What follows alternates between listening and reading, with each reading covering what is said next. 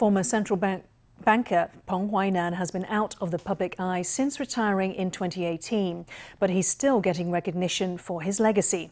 National Tsing Hua University has announced it will confer an honorary economics doctorate on the former banker on April 29th. It will be the second such distinction by the university, which awarded its first to former central bank governor Yu Kuo-hwa.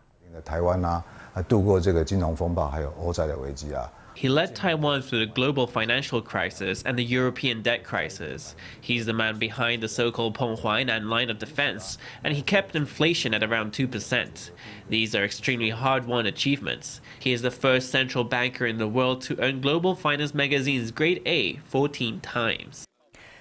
Perng was regarded as one of the world's best central bankers during his 20 year tenure. In 2006, the University of Minnesota granted him an honorary doctorate of law, an honor he's also received from National Taipei University.